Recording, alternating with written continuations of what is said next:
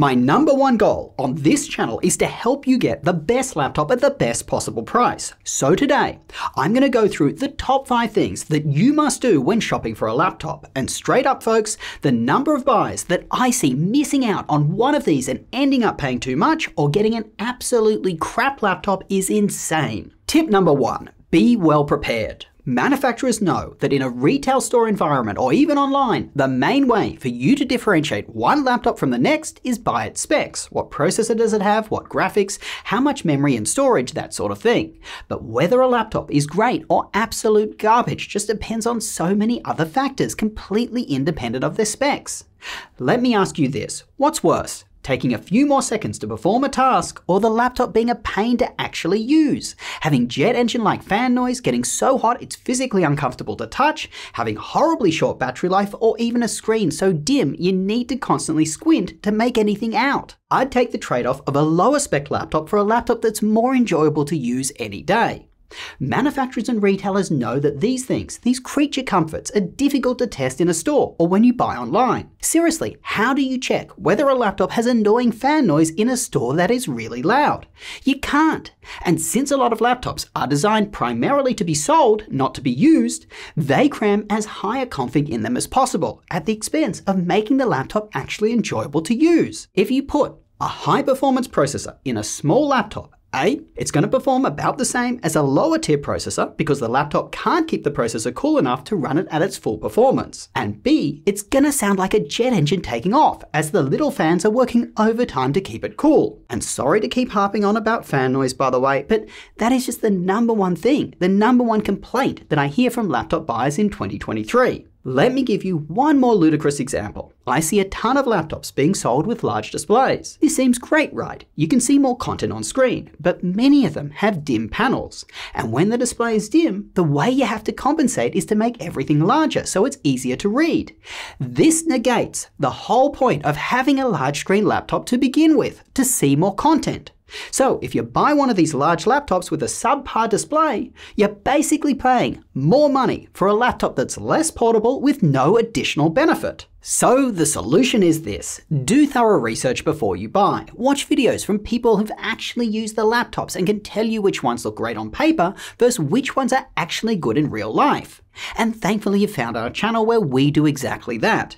And to make your life easy, I've placed links below this video to all the laptops we've tested thoroughly and are great.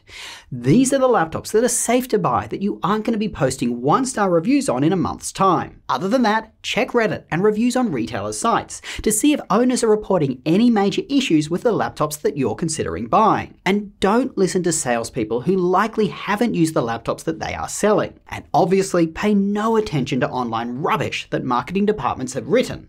Apple right now is trying to convince you that a MacBook Pro 14 with a measly 8 gig of memory is worth shelling out 1,600 US dollars or more for. Let me tell you, you aren't going to be doing many pro tasks with 8 gig of memory. And at that price range, there are laptops out there with 32 gig of memory that would destroy this one. Tip number two, don't overpay for your laptop.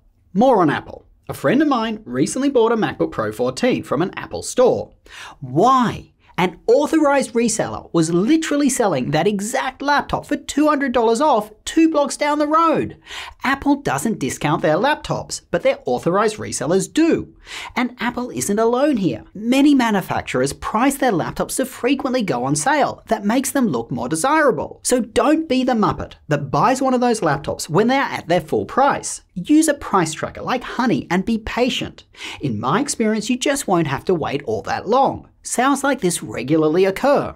Now, on top of the sales, many retailers and manufacturers have coupons or discounts available to you. Students normally get discounts. Employees of major corporations, you'll probably find discounts in your HR portal. And if you don't, quit your job and find another one that offers better laptop discounts. And of course, there are discount coupons you'll likely find on the internet. An app like Honey will automatically find and try them for you, so give that a go. And by the way, this video isn't sponsored by Honey, but they probably probably should have. And to help you out, we've aggregated the best sales that are occurring on our favorite laptops. You'll find links to these just below the video, so check them out. Tip number three, try before you buy. If the laptop you're interested in is on display at a local store, just go try it out. Typing on the keyboard, using the trackpad, and feeling the build quality will give you a decent idea. And a bit of wisdom from a pro here. If that laptop feels warm to the touch when it's just sitting on display at a store, pretty much doing nothing, trust me, when you get it home and start using it, it's going to feel a lot hotter. And retail stores are often darker than regular environments that you'll be using the laptop in. A laptop screen may seem bright in a store, but when you get it home, you may find it isn't. This is the same theory as to why most clothing stores are dimly lit. We all look prettier, and so does the laptop on display. So make sure that you're cognizant of whether the store you're in is dimly lit, so that you can compensate by making sure the laptop's display is super bright. Lastly, if a reseller lets you open a laptop, try it, and return it without a restocking fee, then give it a go. The best way to see if a laptop is right for you is by actually using it. Heck, if you're deciding between two or even three laptops and your finances allow it, you could buy multiple, try them, keep your favorite, and return the rest. Tip number four, consider buying a second-hand laptop or one from a prior year. Your money will go a lot further. With buying a second-hand laptop, I only recommend doing that from a retailer or manufacturer where A, you can return it if you find any issues with it, with no charge that is, B, you still get the manufacturer's warranty, and C, if you're buying it for business, you can get a receipt for tax purposes. So please check the store's policy before you buy. Generally speaking though, Best Buy, Amazon, and outlet stores from manufacturers like Dell and Apple tick this box. And when buying a model from a prior year, you need to know which laptops were the standouts from that year. I don't want you buying a lemon just because it looks super cheap. The way to find out which laptops were great in a prior year is to watch best laptop roundups that were published a year or more ago. But beware, YouTubers like me are a little naughty, we will often change titles of our videos to include the current year. That way our videos get more longevity. So, ignore the year mentioned in the video's title and pay more attention to when it was actually published. Anyway, I'll place links to my roundup videos from the last two years in the description below too, so you can see which laptops are the ones to look out for. And even if you're buying a laptop secondhand or from a prior year, you still need to be aware of when the current version goes on sale. That's because when it does, discounts will likely cascade down to those prior year or secondhand models. Tip number five, don't buy crap you don't need. Avoid Norton and McAfee like a plague. They will try to scare you into purchasing their antivirus. Guys, Windows comes with antivirus.